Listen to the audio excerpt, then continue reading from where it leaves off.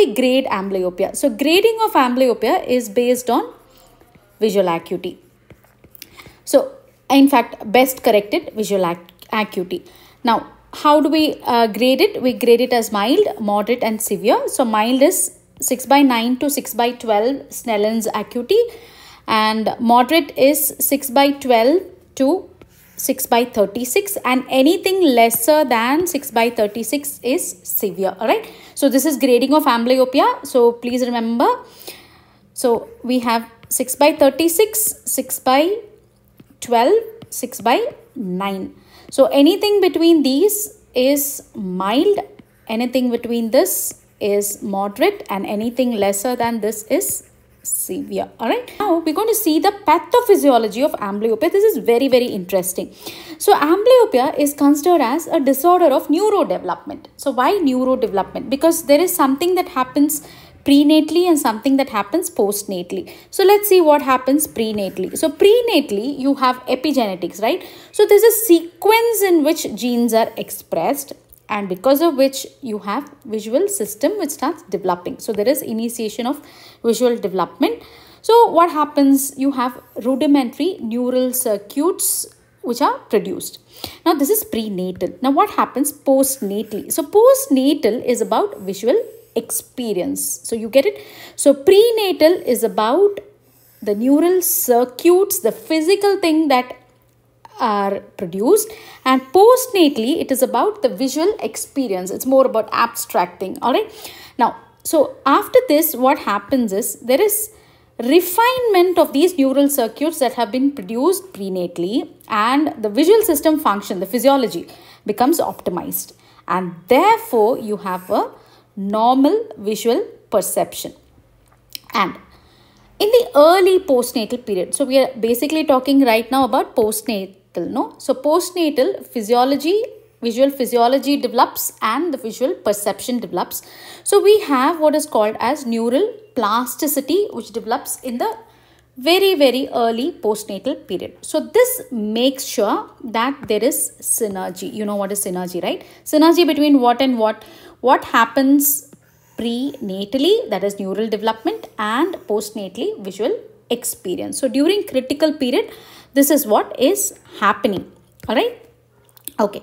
So now critical period it's both it's both advantages and it also has its cons okay both pros and cons so what are the pros and cons it's a crucial formative period yes so because there is a synergy that's happening and also it is a vulnerable period because this is neural plasticity is there in this period so there's a lot of um, you know the best potential of your visual system develops and also if something goes wrong then it can uh, everything can go wrong. So you can get amblyopia. All right.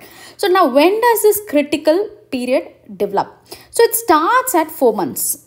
Okay. So it starts at four months and it reaches its peak at two years and kind of decreases by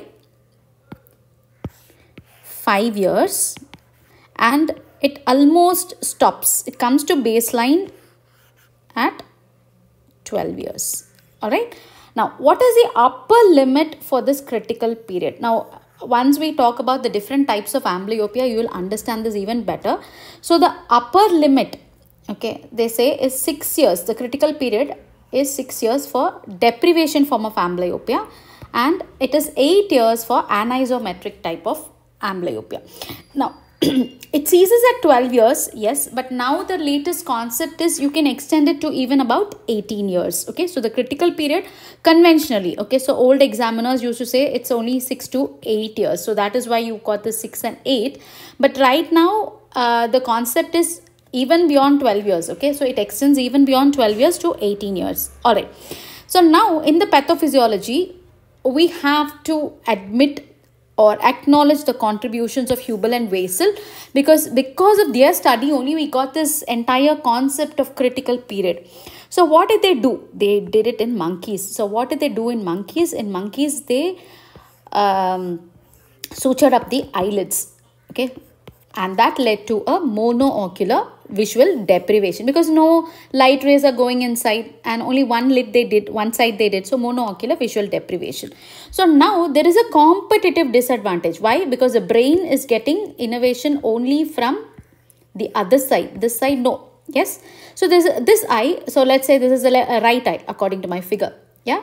So it is at a competitive disadvantage. So what is going to happen there's a loss of excitatory synaptic connections serving the deprived eye. So this is my deprived eye in this state. So there is disconnection from the primary visual cortex because there is no input there. And so what else is going to happen?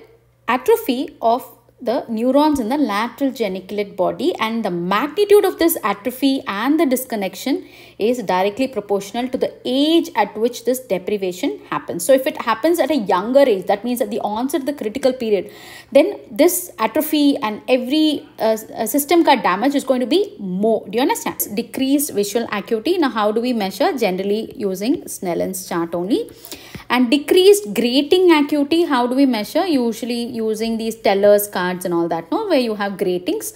Now decreased vernier acuity those Lang pencil test and all that. Now decreased stereo acuity when you measure stereopsis TNO test Titmus fly test okay? So all these. Uh, because there is decreased stereopsis obviously because it's a disorder of binocularity development.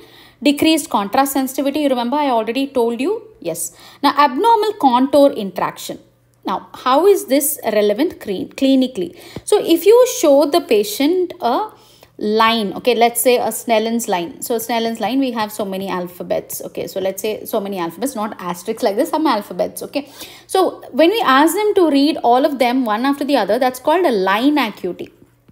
Yes, now, suppose I'm placing a, I'm pointing one after the other. Let's say for with a, uh, a rod or we put a square box around it. So now this becomes single letter acuity. Now single letter acuity is going to be better than line acuity. Okay, so this is what you all must have heard crowding phenomenon. Yes. So when you isolate these optotypes, they are able to read better. So that is why single letter acuity is much, much better. So we use these kind of HOTV cards, which I will be talking about later for, uh, you know, negating this abnormal contour interaction.